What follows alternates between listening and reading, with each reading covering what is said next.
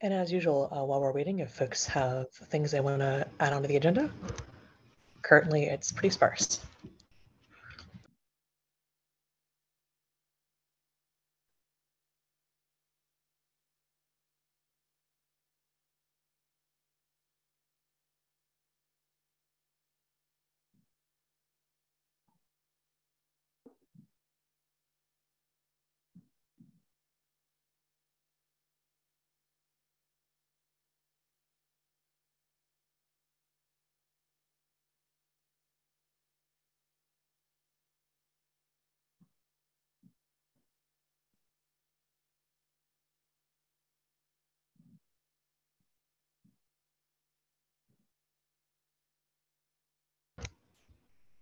And again, while people are joining, I figure I could just call out, we talked about um, Contrib at our last meeting, and Matt had a proposal that he sent out to the various Envoy mailing lists. So if you're not on Envoy dev or Envoy users, you can sign up, but the doc is there either way.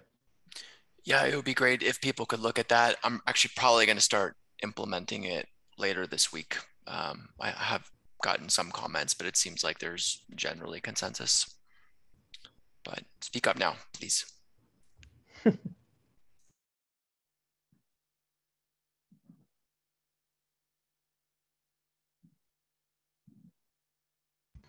so should we talk RBAC? Oh, okay. Sorry, we'll probably start my video. All right.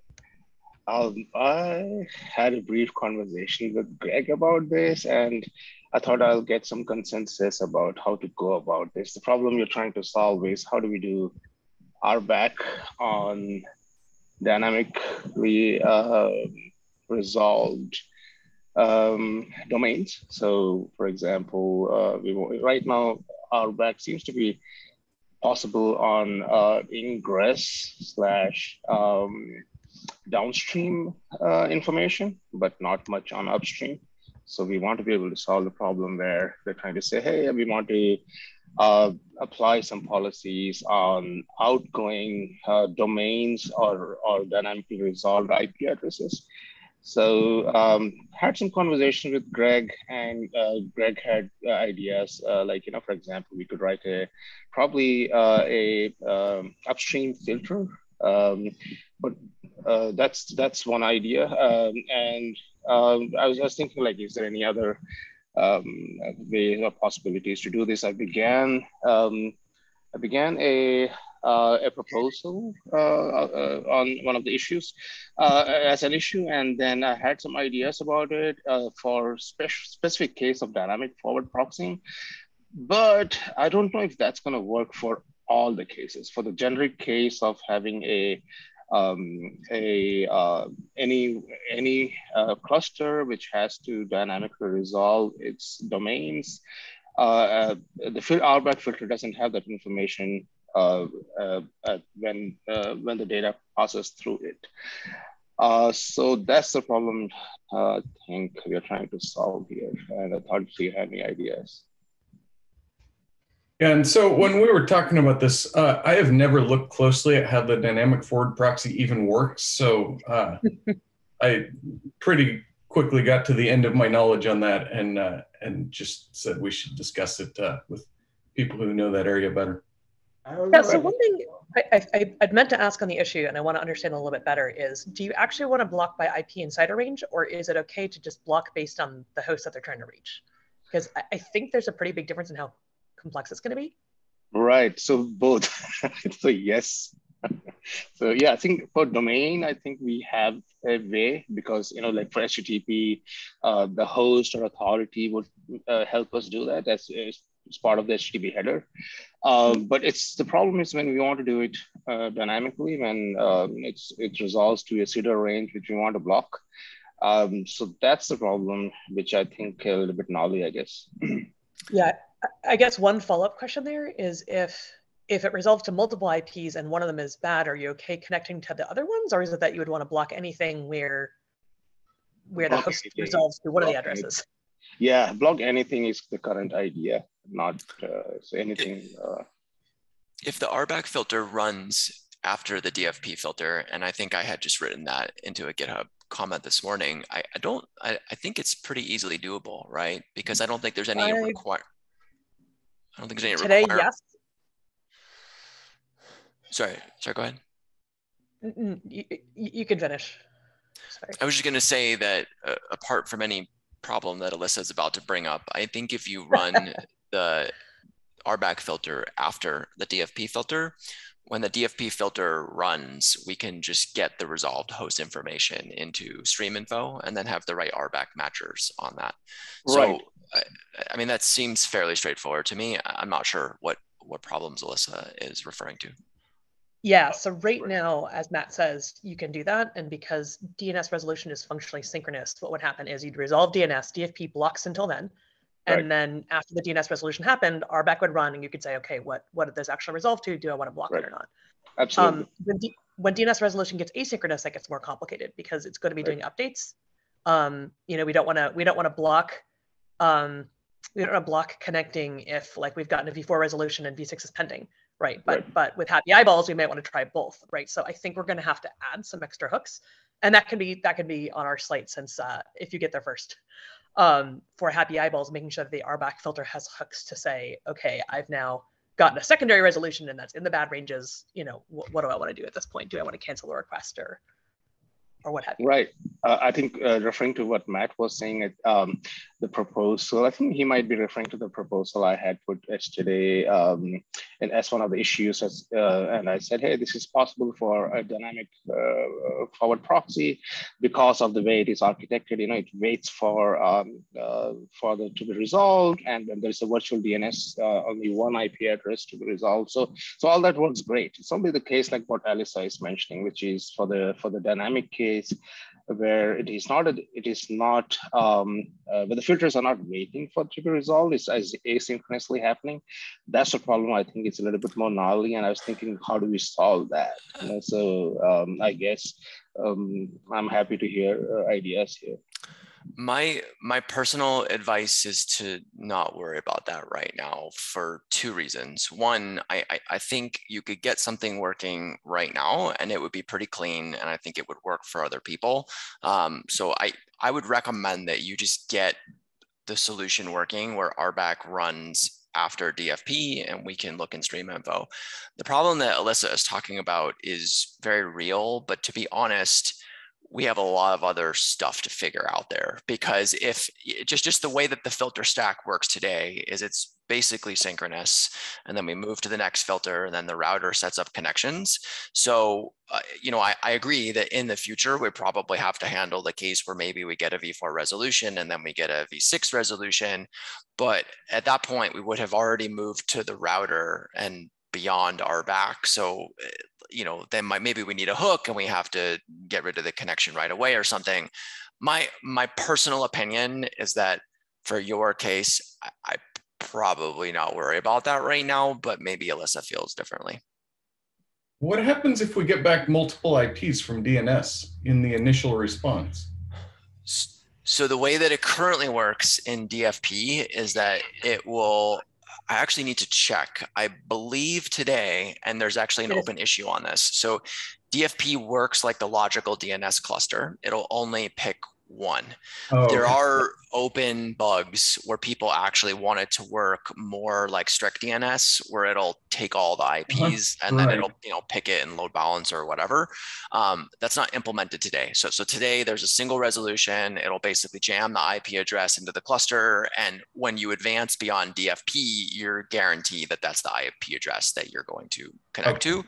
Yeah. So so like the other thing that Alyssa said, that might change in the future, but it's the way that it works right now. So my ad- advice again is that I think you can unblock your existing use case very easily, and I would I, I don't see a lot of downside in doing that. And then I think as we implement the stuff that Alyssa's talking about, which is very complicated, or if we move to strict DNS, I, I feel like we can revisit that. Well. Matt, if there's a if there's a resolution change in a retry, I think it could still be a problem today, couldn't it? I don't think so because the way that it works. So I'd I'd have to go look at the code, but the way that it works today, well, actually, you might be right. I'm not sure. Like, what if there's And- another filter in the chain that blocks, and so there's some time that elapses after we've done RBAC? Could the resolution change? I think I think Alyssa is right that again I'd have to look because I think that if the resolution is async and it updates it, it could update the cluster and then when it goes to retry and picks a new host, it would be the Right. new IP address. Yeah, so I think I think what Matt says will get you 80% of the way there. Yeah, and then that's true. what we need to do is add the hooks that we need to add for happy eyeballs anyway to say when the resolution change, have RBAC notified so that Yeah. RBAC can say like now I want to kill this connection. Yeah. Like I changed one end. I want to I want to remove it. Yeah, that's a tough and one. we can we can help out with that because Ryan Ryan and David have been looking a lot about the DNS resolution. So like we'd be happy to coordinate either Right. here or, or again we can just meet up offline. The I'm weirdness, just- though, I- is that the the pick happens after RBAC runs, and so if there's ever, I mean, that that's seems like a fundamental mismatch in that we haven't called pick yet. So how how can we promise to RBAC that this is what we're picking? Because in the case where it doesn't change and we use the logical DNS, you're guaranteed that it will be that Yeah. IP address. Lar- Right. largely, it should be an upstream filter so that every time we do a Correct. retry, you get invoked again, and we don't have upstream filters yet. So like we can get ninety percent of the way there. We can Close that gap on the callback. Like just to Greg's point, we've noticed this in various security incidents. There's an issue that there's basically RBAC is bounding to. We, we, we- and particularly when we look like pathways routing versus cluster picking, basically replicate logic that takes place during route picking and custom and, and anyone who's, who's actually like policy must do this in two places, um, which haven't always been considered. Ideally, what you would do is the right policy on the. I mean, in this particular case, that's not really the for places where you are actually potentially clusters with RBAC policy. Today, there's not a whereas if we did have the upstream filter here, we would have and and that's kind of what I was going to say is that we keep coming back to the fact that we have upstream network filters today. We don't have upstream HTTP filters. I think we just need to finish upstream HTTP filters because there's just too many cases in which this comes up. So I, I, I guess I guess I, I haven't really changed my opinion, which is that depending on your use case and how you've configured retries and a bunch of other things, I think like Alyssa says, you can get 80 to 100% there based on your config. And you could probably start there. And, and any code that you write in terms of a new RBAC rule to look in stream info could apply to when we install RBAC as an upstream HTTP filter, most, most likely. So I would a- I would at least want it. I, I would at least want really heavy commenting about the limitations because I think sure, yeah, with the race condition that Greg said, if there's that that you could have a synchronicity without retries too, and that would Sure. that would kind of be a bummer. And most people probably like. Th- This is why I was wondering if blocking on host is enough, right? Because like, how often are you going to want to block an IP range for an endpoint, but not care if it resolves somewhere else? Like, I'm not sure what the use case would be there. Yep. Of like, I want to block Google if it resolved to address A but not address B. Like, Uh, there are use cases, but it's like there's like there's like feeds of like problematic IP addresses which people just want to block on, and that's their like their their security requirements. Yep. And so that- that- like, they don't well, could we could we do upstream network filter for that? I mean, if it's pure IP address, you you probably could you just probably wouldn't get the response codes that that that you might like but that would be one option. The other option that i'm just going to throw out there that you can think about is that so the way that it works today is dfp is coupled with the dfp cluster one option that we could do, and you'd have to investigate how complicated this is, is that you could couple DFP with, with the original DST filter. And basically what that would do is you would lock the IP address at the time that the, that the DFP filter runs. And even if it retries, you would lock it to running, what if to targeting the same IP idea. address. Yeah. What, what if instead And- of doing it with the DFP filter, we did it on the DNS resolution and just said like we don't we don't want to give these addresses to hosts. Like we basically had pluggable pluggable actions on DNS resolution. That would be fine too. I mean, it's like we can, I, I- I'm just saying there, there are other ways with changes to the DFP filter in terms of either locking the IP address or having, uh, you know, additional RBAC policies. My only concern with that one, Alyssa, is that then we wind up in the situation which we've had in the past, like Harvey said, where we have multiple ways of doing RBAC and there's bugs and uh, you know, so yeah. that that that feels. Yeah, at the end of the day, we want upstream network. Right. It feels. We all know that. Yeah, it feels a bit worse to me. So I would say that I'd probably look at one of two things. One of them is I, I would either fund finishing upstream HTTP filters. You can sync up with Snow offline. He's done a lot of the plumbing work there. So it's not like you're starting from scratch. Someone just got to finish it. Um, or like Alyssa was saying, or I was saying, I think we could have an optional configuration in DFP where the selected IP address gets locked to the, to the request, um, and then we don't allow it to change.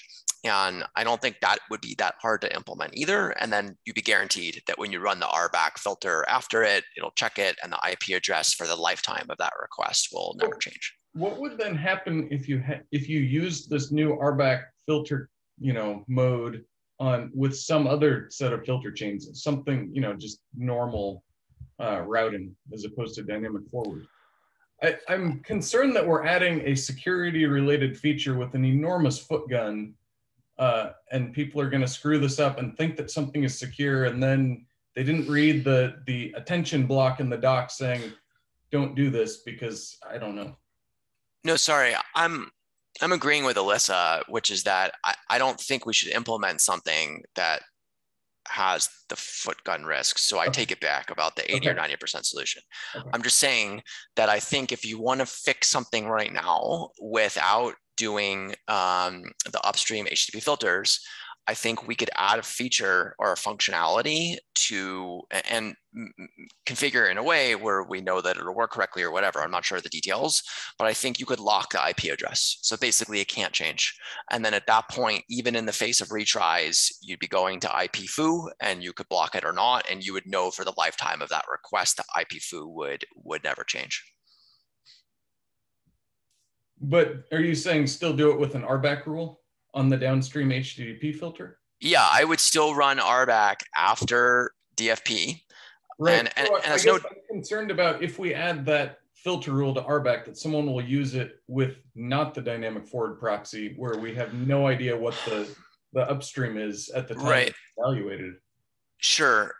Uh, um, I mean, we'd have to go look at the details. I'm going to be honest. I don't know. I just I feel like today there's a lot of foot gun risk today, right? It's like people use IP tagging filter with the RBAC filter. I don't know what they're doing. I mean, it's I feel like this is a giant minefield that leads to both CVEs and other internal problems all, all the time. But I don't. I guess I don't know quickly how to fix that. I guess is what I'm saying. I don't know. Snow, can you comment on how much work you think there was left on upstream filters? There's probably quite a bit. So the work I did was to extract out the filter manager from the HCM. And then I tried to do the work to, so I, I had a branch PR where I had it working using it for the router. Um, and so it's basically probably taking that over or like finalizing it. The difficulty was in having like a nice way to like runtime guard it because we it's a big change. Um, and then that was just bringing it into the router, and then there's work around making the them actually configurable. Um, and probably some I, I recall there being some like um, uncertainties around exactly how it fit in with host selection and retries and whatnot. Um, so probably just like a, a, few open questions there, exactly or like where they run and whatnot. But um, all like fairly like well known, but I think it'll be like it'll be a bit of work uh, just just to get it all um, fitting nicely together and runtime guarding and testing and, and all that.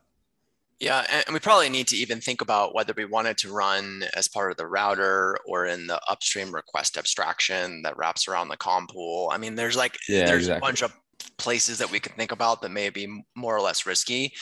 it's certainly a scary change. It's just this comes up all the time, and I feel like we just we just have to do it. Um, I would be willing to take this on as one of my you know difficult side projects, but at the rate that I'm able to deliver difficult side projects, I don't know when when that would actually happen.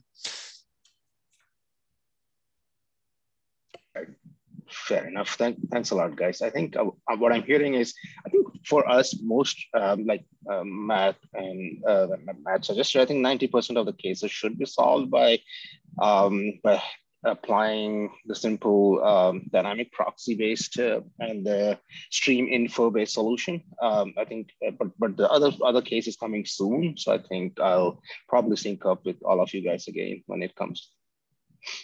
Yeah, thanks a lot. I would I would recommend looking at the code and maybe just working with Greg a bit offline. I don't think it'll take that much. And Greg, I can help you with pointers too if you want. Um, but I would at least scope out what it would look like to lock the IP address. Because I think if we did that, that's a reasonable solution that would also help with Alyssa's case, um, where like, you know, maybe you get later resolutions, but you could ignore them if the IP address is locked or something like that. I mean, again, we'd have to think through this. Like it wouldn't be optimal from a performance standpoint, but it would, it would work, I think. Yeah. Okay. Awesome. Yep. Thanks.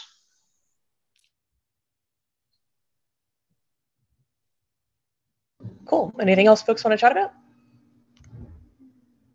I think that was it for the agenda.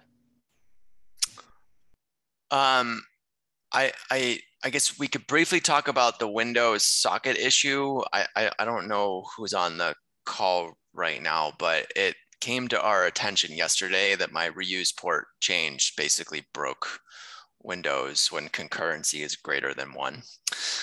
uh, oh. So we need to we need to figure that out. Yeah, I'm here. So, um, yeah, basically, when we duplicate the socket, um, the problem is that if we duplicate the socket at any point before we listen to the socket, uh, then we can't accept any calls. We can't bind to the socket. We can't uh, we can't listen to the duplicate socket again. Uh, so I mean, this is this is what I've been this is what I've been trying left and right, and th- this is what I've been trying, and I'm getting failure. So I'm not quite sure what the solution is, to be honest.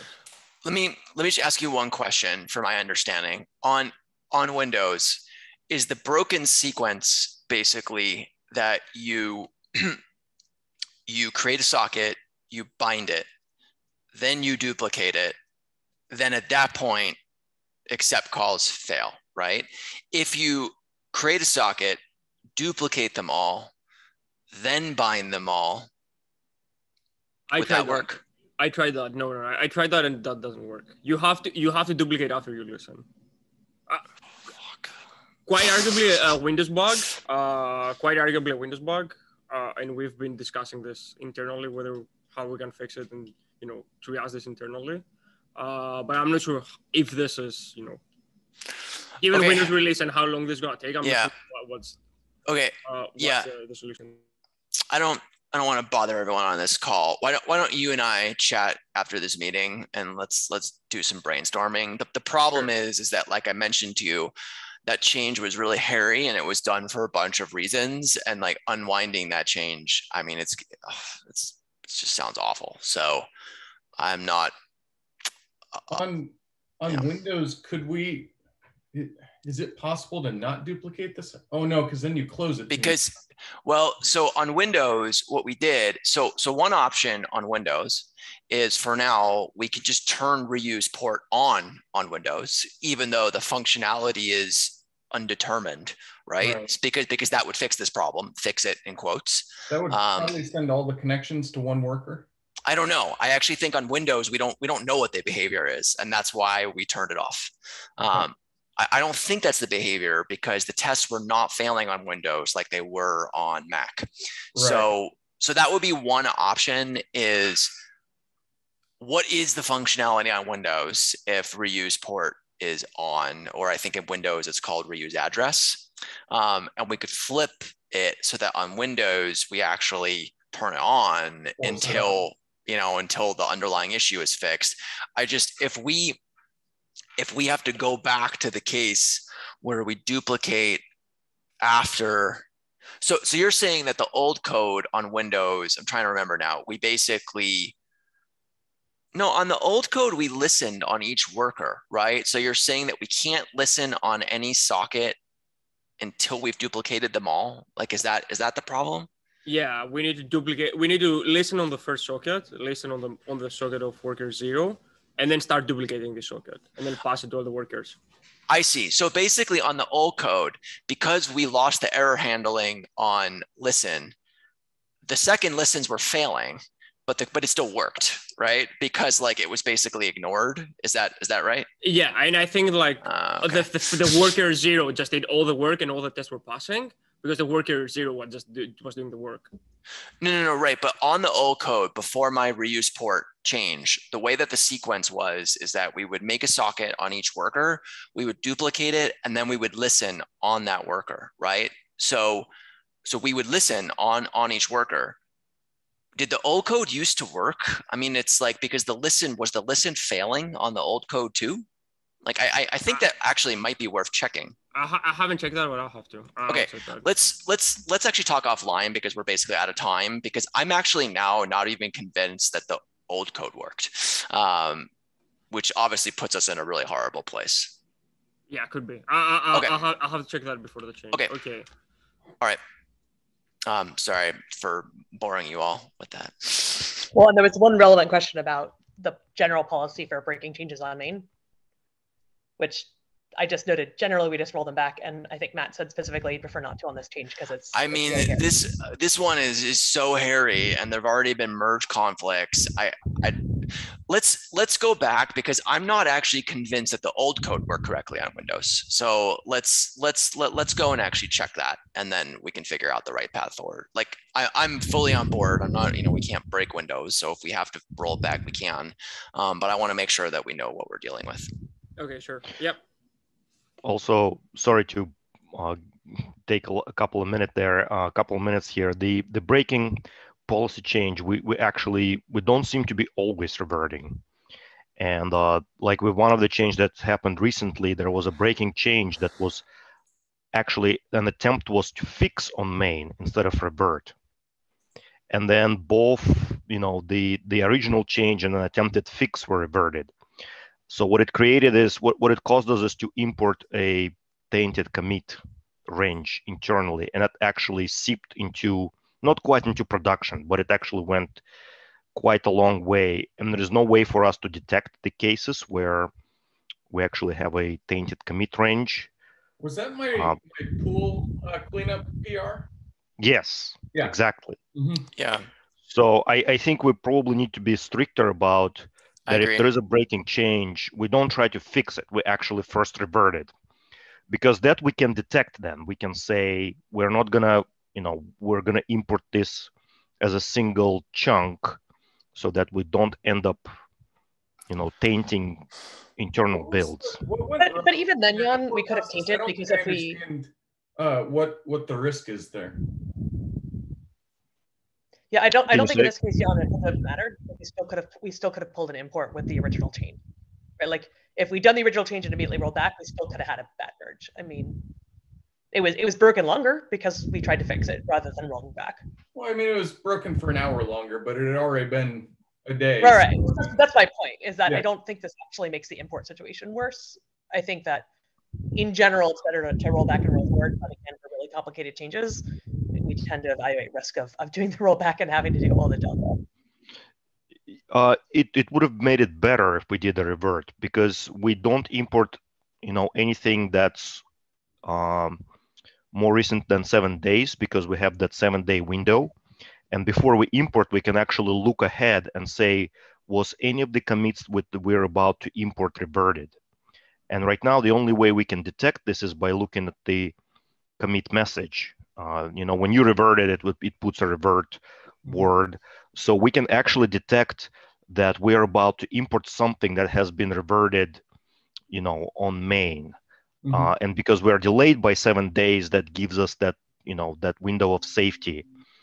Uh, but if if we have no way to detect that something was reverted, like in this case, then the system breaks down.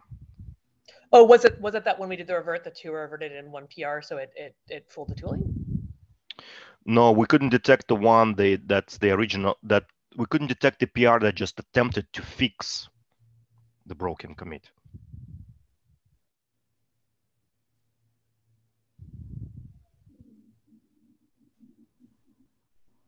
Okay, but if we discovered the issue the day later, would we still have the same problem that there would have been a bug at head and no import? And no rollback? Yeah, we could. Um, well, let me go back and look at it. Uh,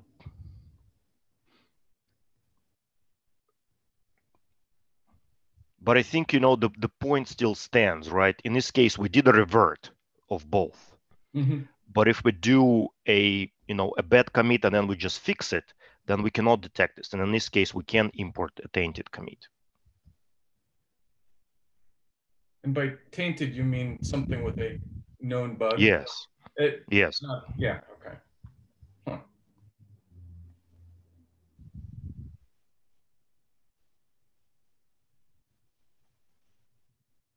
I, I I can file an issue if it's hard to parse right now. I can file an issue upstream, uh, and we can discuss it there.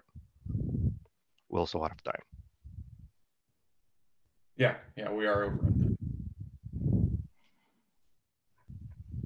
Oh, See folks at next meeting. All right,